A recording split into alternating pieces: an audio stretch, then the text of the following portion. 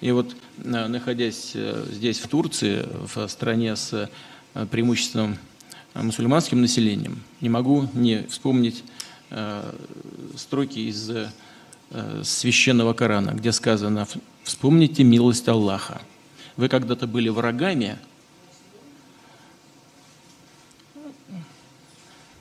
Аллах примирил ваши сердца и сделал вас братьями. Вот э, э, я думаю, что исходить нужно как раз из этого. А, в отношении помощи, в отношении помощи а, и вы стали братьями по его же милости. Это подчеркивается, что э, то, что разделяет людей и ведет к конфликтам, должно уйти на второй план, имея в виду духовную близость между людьми. А что касается помощи, что касается помощи Саудовской Аравии, то, кстати говоря, в том же священном Коране сказано э, и говорится о неприемлемости любого вида насилия –